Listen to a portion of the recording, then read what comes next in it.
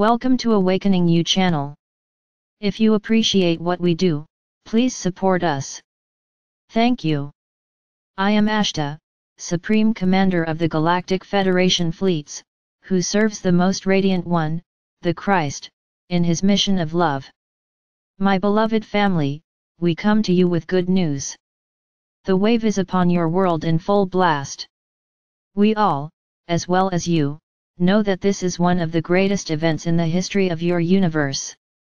Humanity is now ready to go into love and peace. You all have worked very hard for lifetime after lifetime. You all are ready for the energies that are being sent from the great central Sunday.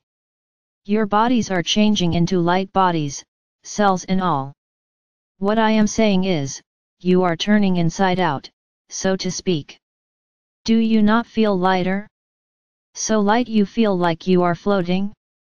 Well, dear ones, it won't be much longer before you will be doing just that. Looking from our perspective, you are the first humans to accomplish something that has never happened before in all creation.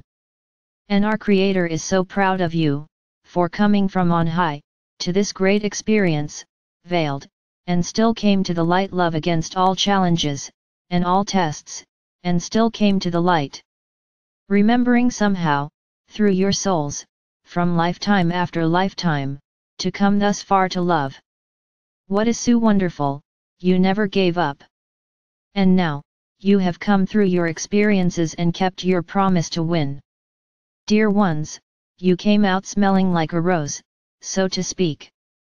We are, all trillion of ships, overjoyed seeing how you all came through with flying colors. There are no words to express the feeling of joy your Creator feels for your faithfulness and fortitude and patience to travel to the level you have, in gaining your glory.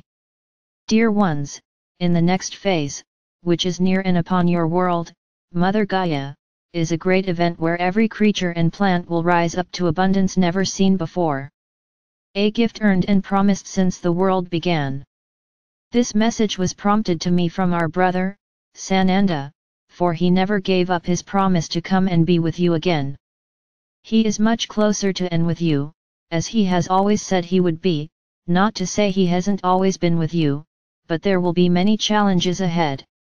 He will have his hands on your shoulders and be whispering in your ear to comfort and lead you to finish your journey to your ascension. Blessed be to you, those of the 144,000, who were chosen and have been faithful servants to the end, the end of the beginning.